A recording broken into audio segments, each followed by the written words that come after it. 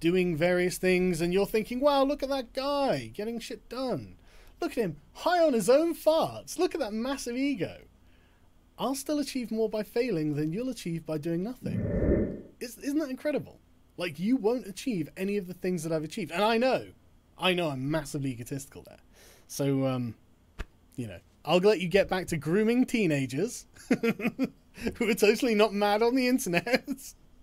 and I'll uh, I'll get on with the second important thing I'm doing today, which is obviously making my video. And uh, and uh, you know I'm taking actually a really big risk tomorrow. It's really interesting. I'm actually meeting up with a bunch of BBC journos and film crews, and they want to film a documentary, like a mini doc, you know, sort of 20 minute thing, on me. And they want to do it on Dankula and PJW, but I don't think they were interested. But um, but they want to do it on on us, the YouTubers. And so I'm kind of nervous because you know what the BBC are like. They're gonna fucking well, well. I mean, okay. I'll tell you what the journos are like. They're not very trustworthy. but um, but so I'm kind of nervous about that. But I wasn't nervous about doing this. This is nothing. Your career on YouTube is nothing. No one outside of this knows anything about you. They don't care about any of this. And I'm not trying to do this to hurt your ego. Once again, I'm just saying things that are true. And they didn't know about, well, actually, they did know about me. You Farage actually knew who, me, knew who me and Dankula were, but, you know, that's, again, I'm, I'm so sorry. I, I, state true things, and that's an ego booster. I, have got to stop it. But anyway, I'll get off. I'll, I'll, I'll, let you stream snipe me for those those precious views, and I hope it goes well. I hope uh, hope you get to have a really great time. I hope you all. I hope you all. Have, sorry, I'm gonna I'm gonna stop making jokes about you and your teenage audience. Anyway, take care, everyone. Well, okay. Um, Max Max eighty seven just woke up. Thought it was five Eastern. Is Sargon doing good? Okay, so I think um, a lot of people are going to win from this. V snipe the kill stream. No, no, I'm not sniping the kill stream. All right, so so here's what I think. Um, when it comes to what happened here, Sargon pointed out that Jim's audience is made mostly out of teenagers, and it's probably true. And he went back into how Jim started and, and pointed out, you know, a lot of things that he believed initially. Um, and he's saying that his audience is mature. And i know this is true. Like i saw his uh, demographics. Mo- most people following sargon are, are over uh, 29 years old. Um, so when it comes to this stream uh, if you want to look at who's more popular like who wins popularity points uh, it's jim by far um, Sargon lost a lot of the audience with the audio in the beginning, with the fact that the chat is turned off. Uh, people are going to focus extremely on that. Like that, that would be the major thing that they're focusing on. The delivery, his chuckling, you know, like things that are part of his character. You know, things that come off as arrogant. That's that's what uh, a lot of people will focus on. But if you focus on the arguments, like what he was pointing out is he is pointing out that Jim said that you can't influence career politicians and that it can't be done. And now he is doing it and he's basically saying, well, Jim, you were wrong. You know, can you admit that you're wrong?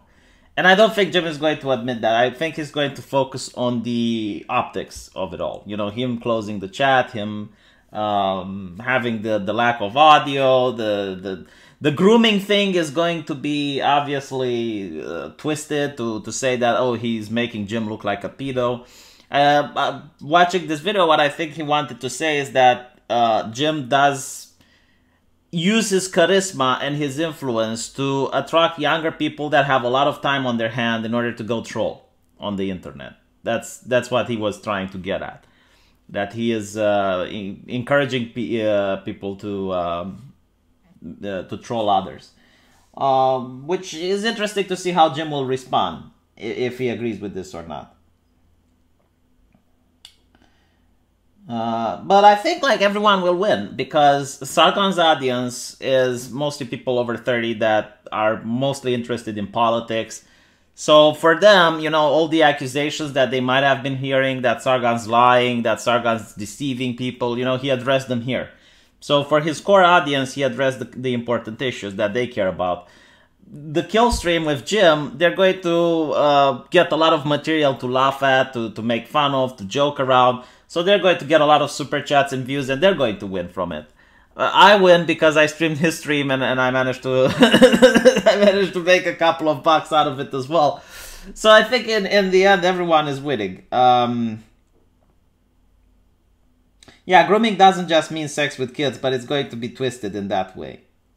It's it's going to be made into um, the fact that oh wow, Sargon is accusing Jim of pedophilia. Like the only thing you can't accuse Jim, and this is my my genuine impression of him if there is if there is one thing Jim cares about the most on this entire world, is kids.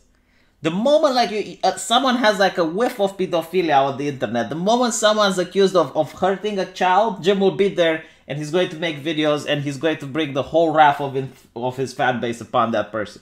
Like I, I do not buy it for a single bit that Jim would be accused of, of doing anything shady regarding kids. He and, and when I talk with Jim about Milo, like he genuinely did not like Milo for the statement that he made, uh, and he thinks Milo got off a lot easier than he should have. So um, I, I don't believe for a sec. I, I think Jim might genuinely, you know, enjoy kids to the point where he has a channel dedicated to entertaining them, and which is fine. It's like there's there's a lot of people who did that in the past, you know, like Barney the dinosaur, you know, like grown adults that would have uh, entertainment for children. There's not nothing wrong with it. Um, don't apologize for Sargon. I, am not apologizing for Sargon. I, am I'm saying he, he won the, the actual argument, but he, he lost on the optics. Like he's he's not going to. But basically, people who liked Sargon is are still going to like Sargon. People who like Jim are still going to like Jim. I, I don't think this will change much.